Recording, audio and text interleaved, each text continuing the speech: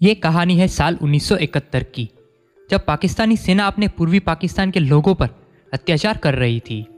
पाकिस्तानी सेना की प्रताड़ना से पूर्वी पाकिस्तान के लोग वहाँ से भागकर हिंदुस्तान पलायन कर रहे थे। पाकिस्तानी सेना के इस दमनकारी कृत्य को देख भारतीय तत्कालीन प्रधानमंत्री इंदिरा गांधी ने युद्ध का फैसला लिया। कुछ ही समय में भारतीय सेना की पूरी तैयारी के साथ जनरल सैम मानेकशॉ ने 3 दिसंबर को युद्ध का बिगुल बजा दिया। 3 दिसंबर 1971 को शुरू होने वाले इस युद्ध का अंत सिर्फ़ तेरह दिनों के अंदर ही हो गया। और इसके परिणाम स्वरूप दो अंतर्राष्ट्रीय घटनाएँ हुई। पहली तो ये कि पाकिस्तान ने सिर्फ़ तेरह दिनों के अंदर सरेंडर कर दिया और पाकिस्तान की इन तिरानवे हज़ार सैनिकों का सरेंडर दुनिया का सबसे बड़ा आत्मसमर्पण था। और दूसरा, अंतर्राष्ट्रीय नक्शे पर बांग्लादेश नाम के नए राष्ट्र का जन्म हुआ। इस युद्ध के साथ कई सारी बहादुरी की कहानियाँ जुड़ी हुई है। जिन पर हम वीडियो बना चुके हैं और उनकी लिंक आपको डिस्क्रिप्शन बॉक्स में मिल जाएगी। आज भी हम आपके लिए एक ऐसी ही कहानी और इंडियन आर्मी ऑफिसर के साहस और हिम्मत की दास्ता सुनाने वाले हैं। ये कहानी है गोरखा राइफल्स के मेजर जनरल इयान कार्डोजो की, जिन्होंने 1971 की जंग में अपनी खुखरी अपने हाथ में लेकर अपने ही पैर को काट दिया था। इतना ही नहीं, इसके बाद उन्होंने पाकिस्तानी खून लेने से भी इनकार कर दिया था। इन्हीं के जीवन पर एक बॉलीवुड मूवी बनने जा रही है, जिसका नाम है गोरखा। और इस मूवी में मेजर जनरल इयान कार्डोजो का रोल अक्षय कुमार करने वाले हैं। तो चलिए जानते हैं इनकी पूरी कहानी। मेजर जनरल इयान कार्डोजो का जन्म 7 अगस्त 1937 को मुंबई के एक आम परिवार में हुआ था। उनके पिता का नाम विंसेंट कार्डोजो और माँ का नाम डायना कार्डोजो था। इयान कार्डोजो एक आम घर के बच्चे थे। और एक सामान्य जीवन व्यतीत करते थे, लेकिन उनके सपने कभी भी आम नहीं रहे। कहा जाता है कि ईयान में बचपन से ही देश के लिए कुछ करने की तमन्ना थी। इयान कार्डोजो ने अपनी शुरुआती पढ़ाई सेंट जेवियर्स हाई स्कूल से की। उसके बाद उन्होंने आगे की पढ़ाई पूरी करने के लिए सेंट जेवियर्स कॉलेज मुंबई में एडमिशन लिया।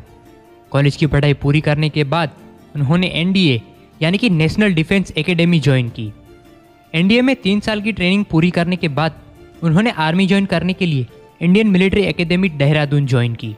आईएमए में अपनी ट्रेनिंग खत्म करने के बाद यान को पांचवी गोरखा राइफल्स की फ़र्स्ट बटालियन में शामिल किया गया। वह पहले ऐसे एनडीए कैडेट थे जिसने गोल्ड और सिल्वर दोनों मेडल जीते हो। गोल्ड मेडल एकेडमी के बेस्ट ऑलराउंड परफॉर्मेंस करने वाले कैडेट को दिया जाता है और सिल्वर मेडल मेरिट में फ़र्स्ट आने वाले कैडेट को दिया जाता है। नेशनल डिफेंस एकेडमी के इतिहास में पहली बार ऐसा हुआ था। कि जिस कैडेट ने गोल्ड मेडल जीता, उसी को सिल्वर मेडल मिला। यान कार्डोजो ने गोरखा राइफल्स के साथ दो युद्ध लड़े 1965 और 1971 1971 का भारत पाकिस्तान युद्ध जब छिड़ा, तब गोरखा राइफल्स उन बटालियन में से एक थी, जिनको सबसे पहले युद्ध भूमि में भेजा गया था। हालाँकि जब 1971 का युद्ध शुरू हुआ, तब Ian Cardozo defence service staff college Wellington में ट्रेनिंग ले रहे थे। युद्ध के दौरान उनकी बटालियन पूर्वी थिएटर में तैनात थी। उनकी बटालियन के सेकेंड इन कमांड एक ऑपरेशन में शहीद हो गए। तभी इयान कार्डोजो को उनकी जगह बुलाया गया। उनके बटालियन के जवान उन्हें कारतूस साहब कहकर बुलाते थे, क्योंकि उनके नाम का सही उच्चारण करने में उन्हें मुश्किल होती थी। हुआ ये था कि हमारी सेना को कहीं से सूचना मिली थी कि पाकिस्तान की इन्फेंट्री ब्रिगेड को सिलहट से हटाकर ढाका की रक्षा के लिए ले जाया गया है, और वहाँ सिर्फ़ 200-300 रजाकारों को सिलहट की सुरक्षा के लिए छोड़ा गया है। तब जनरल सगत सिंह ने योजना बनाई कि गोरखा सैनिकों को उनके पास उपलब्ध 10 हेलीकॉप्टरों से सिलहट में लैंड कराया जाएगा और वो वहाँ तुरंत कब्जा कर लेंगे। गोरखा बटालियन को सुबह साढ़े सात बजे हेलीबॉर्न ऑपरेशन के आदेश मिले। कलौरा से सबसे पहले सात एम आई फोर हेलीकॉप्टर के ज़रिए गोरखा सैनिकों को सिलहट में उतारा गया। जैसे ही पहला हेलीकॉप्टर सिलहट पहुँचा और गोरखा सैनिक नीचे उतरने लगे पाकिस्तानी सैनिकों ने हेलीकॉप्टर पर हमला बोल दिया। पहली खेप में उनके सीओ का रेडियो सेट नहीं आ पाया था। इसीलिए वो ब्रिगेड कमांडर को ये तक सूचित नहीं कर पाए कि उन्हें यहाँ क्या झेलना पड़ रहा है। दरअसल उन्हें गलत सूचना मिली थी कि पाकिस्तानी ब्रिगेड को सिरहट से ढाका ले जाया गया है। उन्हें ढाका शिफ्ट होने के लिए कहा गया था, लेकिन वो ढाका जाने के बजाय सिलहट आ पहुँची थी। इसीलिए जब गोरखा सैनिकों की बटालियन ने वहाँ लैंड किया तो उनका सामना पाकिस्तान की दो ब्रिगेड्स यानी करीब 8000 सैनिकों से हुआ था। वहाँ उतारे गए गोरखा सैनिकों की तादाद सिर्फ़ तीन थी। सारे गोरखा ज़मीन पर चुपचाप लेट रहे थे। जब पाकिस्तानी सिर्फ़ 40 गज दूर रहे तो उन्हें जय महाकाली अयो गोरखाली का नारा लगाते हुए उनके ऊपर हमला बोल दिया। पाकिस्तानी सैनिकों ने भागकर 400 मीटर दूर एक गाँव में शरण ली। इसी बीच रेडियो पर एक खबर आई कि भारतीय सेना ने अपनी ब्रिगेड सिलहट में उतार दी है। ये सुनकर ईयान ने कहा कि अगर पाकिस्तानियों को लगता है कि यहाँ एक ब्रिगेड है तो अब हम एक ब्रिगेड की तरह ही लड़ेंगे। फिर उन्होंने रणनीति बनाई और पाकिस्तानियों पर तीन तरफ़ से अलग अलग हथियारों से जोरदार हमला किया। ये हमला इस तरह किया कि उन्हें लगा यहाँ सच में एक ब्रिगेड तैनात है। हर गुजरते दिन के साथ जंग और भी गंभीर होती जा रही थी। सभी टुकड़ियों को सेना की तरफ़ से बैकअप आने का इंतज़ार था। इसी बीच ईयान की टुकड़ी को पास ही में फंसे कुछ बांग्लादेशी कैदियों को रिहा करवाने का काम मिला। बीएसएफ की एक टुकड़ी के साथ मिलकर उन्हें इस मिशन को अंजाम देना था। दोनों ही टुकड़ियाँ कैदियों वाली जगह पर पहुँची। पाकिस्तान की सेना से लड़ते हुए और आगे बढ़ते हुए वह उस जगह को पूरी तरह से खाली करवा चुके थे। अब सिर्फ़ ज़रूरत थी तो उन घायल और कमज़ोर कैदियों को सेना के कैंप तक लाने की। कैदियों की मदद के लिए यान जल्दी जल्दी उनके पास जाने लगे। उन्होंने ध्यान नहीं दिया कि जिस जगह पर वो जा रहे हैं वहाँ पर पाकिस्तानी सेना ने पहले से ही लैंडमाइन बिछा रखी है। ईयान कुछ कदम ही चले कि उनका पैर एक माइन पर पड़ गया। एक जोरदार धमाका हुआ और ईयान बहुत दूर जाकर गिर गए। उनका पूरा शरीर लहूलुहान हो चुका था। उनकी आँखों के आगे अंधेरा छाने लगा था। सेना के आने से पहले एक बांग्लादेशी ने ईयान को घायल देख लिया। वह तुरंत ही उनके पास गया। उन्हें उठाकर सेना के पास ले गया। इसके बाद तुरंत ही सेना ईयान को अपने कैंप तक लेकर गई। ईयान को कैंप तक तो सफलतापूर्वक ले जाया गया, मगर कैंप में उनका उपचार करने के लिए कोई डॉक्टर नहीं था। भारतीय सेना की ओर से मदद आने में भी अभी वक्त था।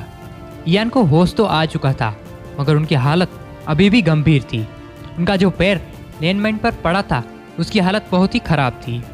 उन्होंने पास में खड़े सैनिकों से मॉर्फिन मांगी, मगर उन्होंने कहा कि वो उपलब्ध नहीं है। इसके बाद ईयान ने कुछ और दवाइयों के नाम लिए, मगर सेना के पास कोई भी दवाई बची नहीं थी। जब कोई रास्ता नज़र नहीं आया तो उन्होंने अपने साथियों से उनका पैर काटने के लिए कहा। उन्होंने पैर काटने से मना कर दिया, क्योंकि उनके पास कोई उपकरण नहीं थे। इसके बाद ईयान ने उन्हें अपनी खुखरी दी और उससे पैर काटने के लिए कहा, मगर उनके साथियों ने इस बार भी मना कर दिया। हर कोई हैरान था कि आखिर ईयान कैसे अपना पैर काटने के लिए बोल सकते हैं। आखिर में जब इस काम के लिए कोई भी राज़ी नहीं हुआ तो खुद ईयान ने इसे अंजाम देने की ठानी। उन्होंने अपनी खुखरी ली और बिना किसी झिझक के अपना पैर काट डाला। उन्होंने इस पैर को सामने खड़े सैनिक को दिया और उसे मिट्टी में गाड़ने के लिए कह दिया। इसके बाद उनके सीओ वहाँ आ पहुँचे और उन्होंने कहा कि एक पाकिस्तानी डॉक्टर तुम्हारा ऑपरेशन करेगा। ये सुनकर ईयान ने ऑपरेशन के लिए तुरंत इनकार कर दिया और कहने लगे कि कोई पाकिस्तानी मुझे हाथ भी नहीं लगाएगा। सीओ के बहुत समझाने पर ईयान ऑपरेशन के लिए मान गए। परंतु ईयान ने फिर भी एक शर्त रखी कि मैं किसी भी पाकिस्तानी का खून नहीं लूँगा। इसके बाद सिलहट में ईयान का ऑपरेशन हुआ और उन्हें पुणे के मिलिट्री हॉस्पिटल में शिफ्ट किया गया, जहाँ उन्हें एक लकड़ी की नकली टांग लगाई गई। इस ऑपरेशन के बाद अब ईयान वॉर डिसेबल थे, लेकिन उन्हें ये कहाँ मंजूर था? वो कड़ी मेहनत करने लगे। उन्होंने battle physical efficiency test mountain climbing ये सब टेस्ट दिए और सभी टेस्ट में एबल बॉडी ऑफिसर को मात दे दी। फिर उन्होंने अपना केस उस समय के chief of army staff general Tapeshwar Narayan Raina के सामने रखा। इसके बाद वो उन्हें लद्दाख ले गए और देखा कि ईयान अब भी पर्वतों और बर्फ़ में चल सकते हैं। ये सब देखने के बाद उन्होंने ईयान को बटालियन कमांड करने की परमिशन दी। ईयान कार्डोसो सबसे पहले वॉर डिसेबल ऑफिसर है। जिन्होंने एक बटालियन और एक ब्रिगेड को कमांड किया है। युद्ध में अदम्य साहस और वीरता और सेना में निस्वार्थ सेवा के लिए उन्हें सेना मेडल और अति विशिष्ट सेवा मेडल से सम्मानित किया गया। साल उन्नीस सौ तिरानवे में यान कार्डोजो मेजर जनरल के रैंक पर रिटायर हो गए। इसके अलावा वो साल 2005 से 2011 तक रिहेबिलिटेशन काउंसिल ऑफ़ इंडिया के चेयरमैन भी रह चुके हैं। साथ ही वो मैराथन रनर है और मुंबई मैराथन में रेगुलर हिस्सा लेते हैं। देश के लिए इयान कार्डोजो के योगदान को भारत के लोग कभी भूल नहीं सकते।